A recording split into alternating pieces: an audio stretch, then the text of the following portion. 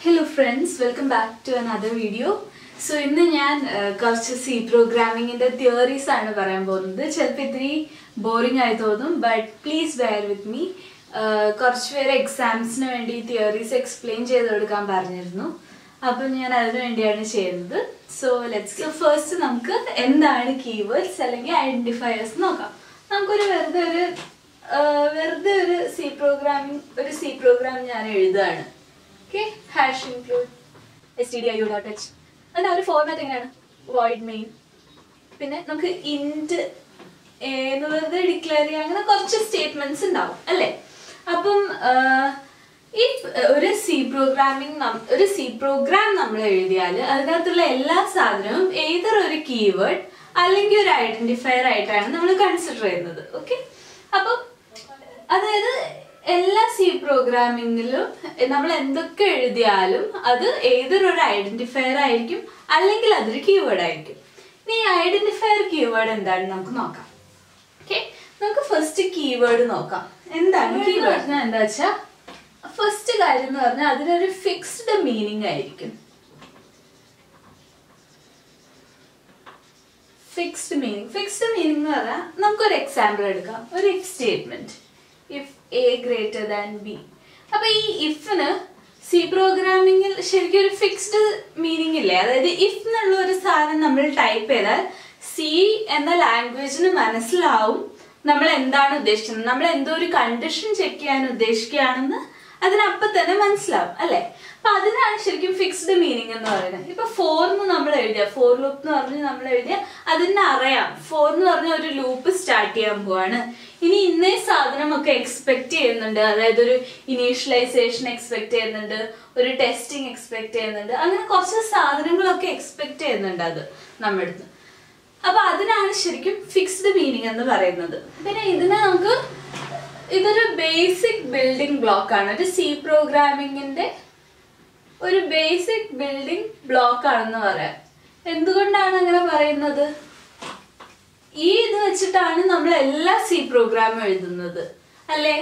പിന്നെ വേറൊരു പ്രത്യേകത ഉണ്ട് നമ്മൾ ഈ എല്ലാ കീവേഡ്സും നമ്മൾ സ്മോൾ ലെറ്റേഴ്സിലാണ് എഴുതുക. സ്മോൾ ലെറ്റേഴ്സിൽ എഴുതാന്ന് പറഞ്ഞാൽ അതിന് പറയാം lower case return in lower case എല്ലാം സ്മോൾ ലെറ്റർ ആൽഫബറ്റ്സ് യൂസ് ചെയ്തിട്ടാണ് എഴുതുക. എന്തൊക്കെയാണ് കുറച്ച് എക്സാമ്പിൾസ് ഇഫ് ഫോർ വൈൽ കുറെ അങ്ങനെ ഒരുപാട് നമ്മൾ എന്തൊക്കെ ചിന്തിക്കുന്ന?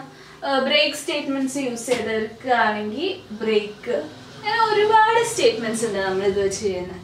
അപ്പം ഇതൊക്കെയാണ് കീവേഡ്സ് എന്ന് പറഞ്ഞത് ഇനി ഐഡന്റിഫയേഴ്സ് എന്താണെന്ന് നമുക്ക് നോക്കാം. ഓക്കെ ഐഡന്റിഫയേഴ്സ് എന്താണെന്ന് വെച്ചാൽ ശരിക്കും ഒരു യൂസർ ഡിഫൈൻഡ് സാധനമാണ്. ഓക്കെ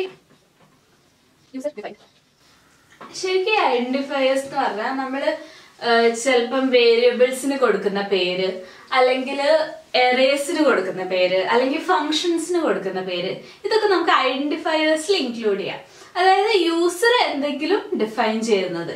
ഇപ്പൊ വേരിയബിളിന്റെ പേരൊക്കെ ഞാനാണല്ലോ തീരുമാനിക്കുന്നത്. അതിന് ശരിക്കും ഒരു നേരത്തെ പറഞ്ഞ പോലെ ഒരു ഫിക്സ്ഡ് മീനിങ് ഇല്ല. അല്ലെ? നമ്മൾക്ക് ഇന്റ് എ എന്ന് കൊടുക്കാം അല്ലെ ഇന്റ് എ ബി എന്ന് കൊടുക്കാം നമുക്ക് ഇഷ്ടമുള്ള പോലെ കൊടുക്കാം. അതുകൊണ്ട് തന്നെ യൂസർ ഡിഫൈൻഡ് എന്ന് പറയുന്നു. Refers to names of variables എന്താ ഫങ്ഷൻസ് എറേസ് എക്സെട്ര ഓക്കെ അപ്പം നമുക്ക് ഒരു എക്സാമ്പിൾ എടുക്കാം. ഇന്റ് എ ഈ ഇന്റ് എന്ന് പറഞ്ഞാൽ സി പ്രോഗ്രാമിങ്ങിൽ എന്തെങ്കിലും ഒരു ഫിക്സ്ഡ് മീനിങ് ഉണ്ടോ? ഉണ്ട്. അല്ലേ? എന്താണ്?